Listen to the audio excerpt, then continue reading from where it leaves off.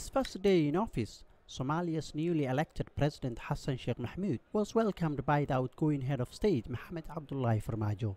A high-level committee has been established to plan the handover ceremony in the coming days.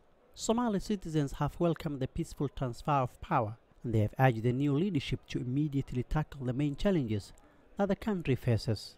I recommend that the new president should mainly focus on completing the draft constitution and the implementation of the one man, one vote electoral process. I urge the new head of state to start planning how to tackle these two key issues now because he will not have enough time.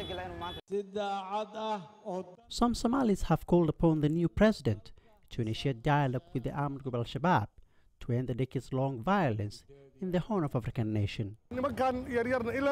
We don't need conflict anymore. The new president must implement his campaign motto of peace within ourselves and with the world, and also launch dialogue with the armed group Al Shabaab. We also urgently need peace and national reconciliation between the various tribes in the country.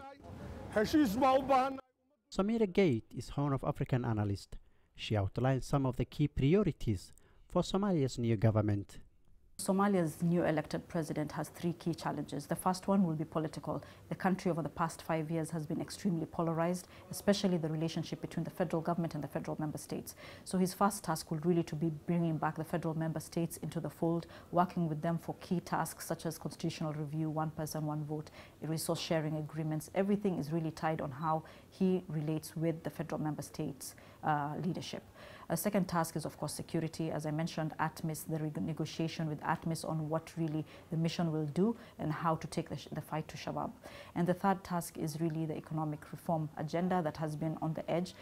Somalia's newly elected President Hassan Sheikh Mohamud has experienced to run a government with little resources and threats from terror group. But recurrent challenges coming from prolonged drought and famine needs his special attention once he fully takes office in the next coming days.